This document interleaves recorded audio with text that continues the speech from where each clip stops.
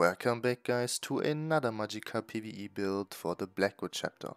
Like I promised, I did a Magicka Nightblade setup ready for you. After 2 hours parsing with a dual wield Inferno setup, I managed to get almost 106k DPS. Thanks to the new mythic item Harpooner's Wading Kilt, Mag Blades got a huge buff with the extra crit rate and the crit damage. If you prefer range setup with an Inferno front bar, use it. The DPS is almost the same as dual wield, to be honest. Before the video starts, quick reminder, I know it's annoying, but guys, do me the favor, sub my channel, support me, I would really appreciate it. And now, have fun with the video. Let's talk about the rotation. There are two important keys. The first one is like on every rotation, keep up your dots and use spammable in between, with light attacks of course. The second important thing is the correct timing, to know when to use your ultimate Incap. Incap or Soul Harvest increases your damage done by 20% for 6 seconds. Try to not waste this burst phase with skills like Barb Trap and Siphoning attacks, which deals 0 damage. Don't recast too many dots in this phase. Try to use Assassin's Will always after Incap to empower it. One example, in terms of timing, if, let's say, three dots, which are Unstable Wall, Dark Shade and Twisting Path on your back bar, are close to expire, then don't use Incap on cooldown. Take your time, reapply those dots first to not waste any time in burst phase, and then you use Incap to empower all of your dots and to have enough time to spam Elemental Weapon as often as possible. Another tip, don't stay too long on your back bar. Use at maximum 2 backbar skills before your bar swap, which means you need to bar swap a lot of times on a Magicka Nightblade. It's necessary, otherwise we lose a ton of crit, since we have 2 daggers in precise front bar, which we don't have on the back bar. I hope those tips and tricks are helpful. If something is still unclear about it, type your questions in the comment section below. I will try to answer them as fast as possible. Now let's take a look on the pre-buff rotation. As pre-buff use Channeled Acceleration, Merciless Charge, Siphoning Attacks, Dark Shade and then the Death Ultimate. Swap after to your other setup with Barb Trap and Incap with an add-on like Dressing Room.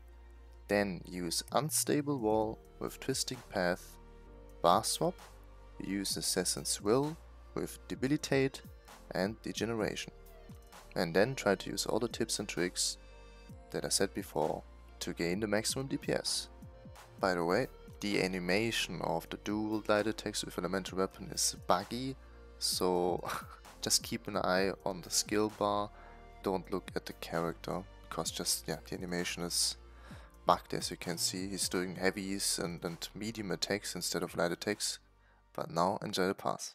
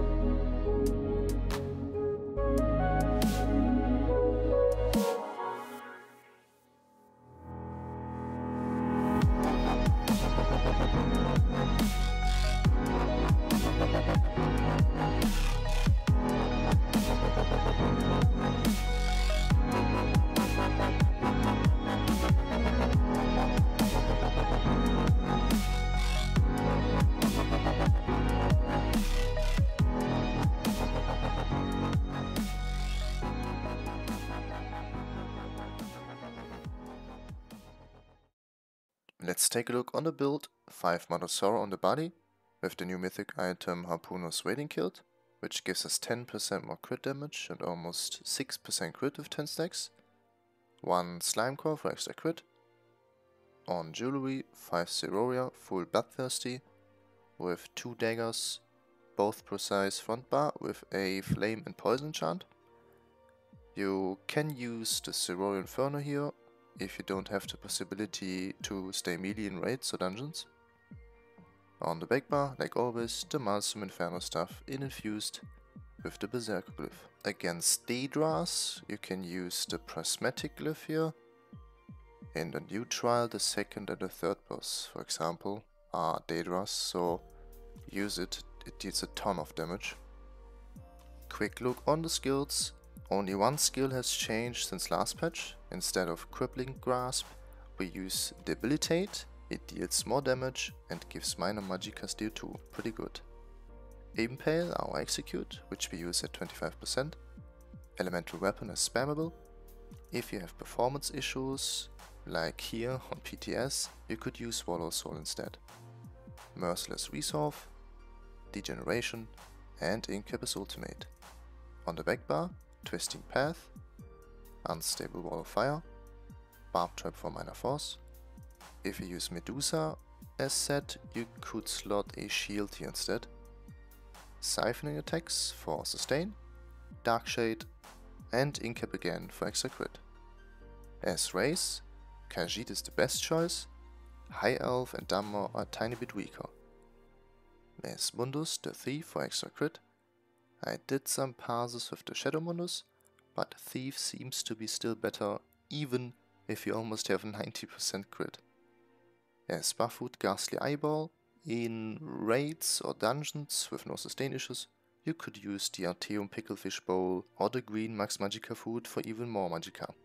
CP wise, only one blue CP has changed, Master at Arms, the new blue CP, which gives us 10% more direct damage it's also a reason why Magicka are stronger than before, thanks to this juicy blue CP. The other ones are still the same, Backstabber, Fighting Finesse and Deadly Aim. If you can't flank the enemy, use Thaumaturge instead. Red CPs, Rejuvenation, Boundless Vitality, Slippery and Ironclad. Here ends the video, I hope everything is clear. If you still have some questions, type it in the comment section below. The next PV build will be probably a Magicka Dragon Knight build, so stay tuned for that and a ton of more videos. Thanks for watching, have a nice day, stay healthy and I'll see you in the next video.